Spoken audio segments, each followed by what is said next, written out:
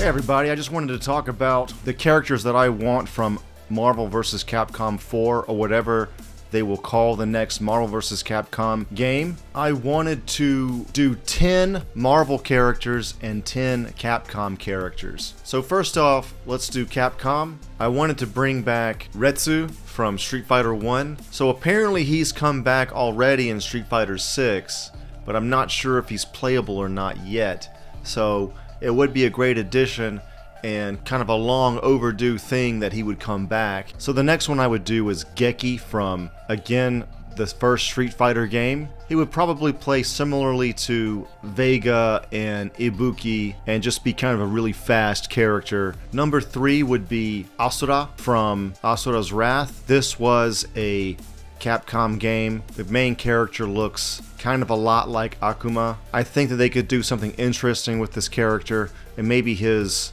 move set would be even more outlandish than Akuma. I just think that he would be a great addition to the game. Moving on from that, my number four pick is Edward Falcon from Power Stone. Everybody that had a Dreamcast back in the day probably aware of Power Stone. There was even a sequel, Power Stone 2, Edward Falcon is kind of the main guy. He's the guy in the red suit, and he's on the cover. And it was kind of a little bit like Smash Brothers before there was even Smash Brothers, I think. It was kind of a all-out brawl kind of game. And they've never Capcom has never really gone back to these characters. So, as far as I know anyway. So, I would personally love it if they brought these characters back. Number 5 on my list would be Skullomania. So this character is from Street Fighter EX, and this sort of skull design and skeleton design just always kind of caught my eye. It was simple and a little bit scary, but not too much. And he just he's just always been kind of a fun character to me, so I kind of would like him brought back in as many games as possible. My sixth pick from Capcom would be Wayne Holden from Lost Planet. So I played Lost Planet, especially the first one on Xbox 360 back when it came out. I was living in Japan at the time, and it felt like no one even knew about this game, even though it was made by Capcom, a Japanese company. And I just loved that kind of frozen Hoth planet and the mechs and everything. So I suppose this character could have maybe even bring in a mech of some sort. Number seven for Capcom for me would be Claire from Star Gladiator. This game and its sequel Plasma Sword were just, they were 3D fighting games kind of left in the late 90s, early 2000s. They did bring back Hayato for one of the Marvel vs. Capcom games, which is great. I'd say that they could dip into this property even more. I would even like a sequel someday. I think this is kind of one of the hidden gems from that time. Number 8 for Capcom for me would be Grandmaster Meio from Strider. They've had Strider before and he's great, and I would consider him kind of a no-brainer to bring back. So uh, that's why I'm not even listing him on my list. He's already a given. But I would bring in more characters from that world and just to have another kind of mysterious character with robes and kind of evil, I just think that that would be, again, dipping really deep into their back catalog of characters and could be a lot of fun. So, number nine would be Ryu from Breath of Fire. No, it's not that Ryu from Street Fighter, of course. Breath of Fire had their own Ryu. It was a Capcom RPG series, very beloved. Maybe even they could do the two variations of the main character because the box art on the American release versus the Japanese release were pretty different. I usually like the Japanese art more, but I do like that American art that we got. He looks a little bit more badass, and maybe they could have fun with it and have both versions as just variant costumes. The last one, number 10 for Capcom for me, would be Diana 17 from Tech Romancer. I love almost any kind of mech game, and I love mech characters. Tech Romancer was already the spiritual successor to Cyberbots, and and Jin comes from that, so there's already connection there. It also would add a little bit more of a girl flavor to it. You know, just another girl character would be great, and just a robot that has a lot of hearts. I don't know, I just think it could be good. It could be really fun. Okay, so going into Marvel now, I have 10 characters, and the first one up, I'm kind of pissed that they've never really added him to it. I'm talking about Nightcrawler. Nightcrawler is probably my favorite X-Men character. He's just really cool looking, and they could even add the sword and some of his different looks. He has a beard sometimes. They could really have a lot of fun with his variations. I really think this is why I list him first. I think Nightcrawler is really long overdue to be in a game like this. He's one of the most popular X-Men, and I think that he deserves to be in a game. Honestly, out of all the characters on my list, I think I think Nightcrawler should definitely be in the next one for sure.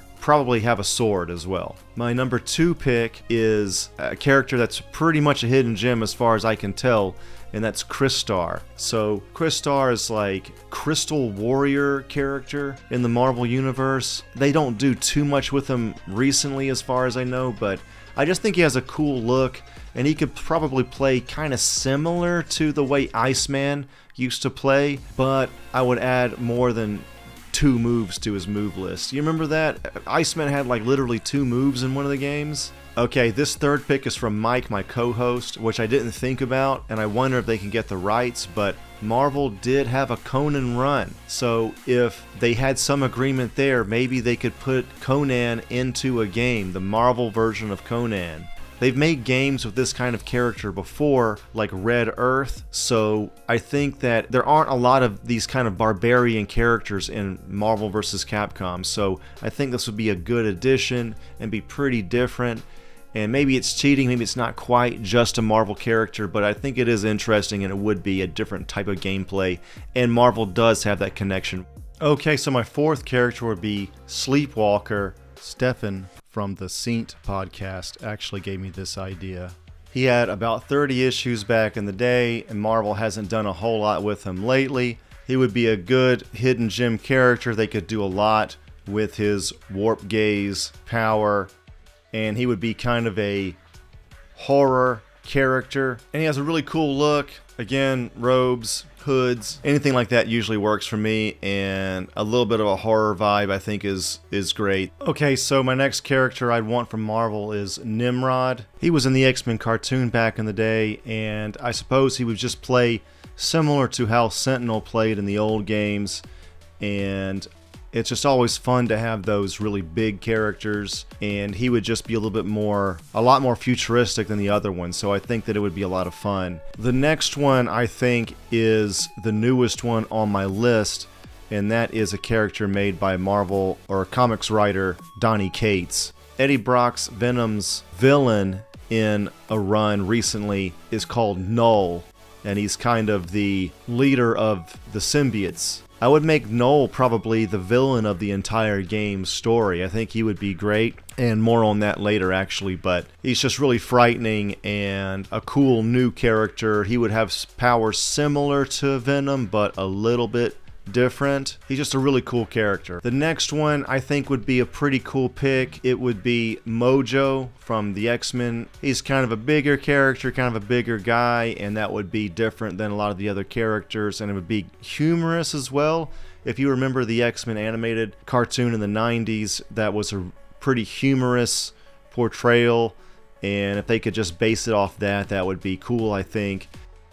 Number 8 on my list would be Spider-Gwen this is sort of a no-brainer because of the Spider-Verse movies. And actually, since we're talking about it already, Miles Morales Spider-Man. Also, that would be my number 9 pick. Spider-Gwen and Miles Morales have obviously become very popular in the past few years due to the Spider-Verse movies. I think it's basically a no-brainer that they add these two. And my number 10 pick would be Moon Girl and Devil Dinosaur. These would come as a pair, obviously. Moon Girl sort of rides Devil Dinosaur and their friends, their buds. They've done dinosaur characters like this before. It would just be cool to have Moon Girl in there, and they would just be pretty different from everybody else in the game, so I think that they would be a really good addition. So that's pretty much it. I hope you've liked my picks. And the last thing that I was talking about earlier was that I think that the overall story for the fourth one, the most badass story is that they could do Venomverse. There's already Venom and Knull and Spider Man, Miles Morales, and Spider Gwen. All of these Spider Man characters. The Into the Spider Verse movies are extremely popular as well. And also getting Venom symbiote variants of characters like Ryu or Skullomania or Nightcrawler or anybody else in the game would be a lot of fun. I'm sure there could be other great ideas for a story for this game, but I do think for my money, Venomverse would be the best. Thanks for watching. This has been Gaming Gaiden.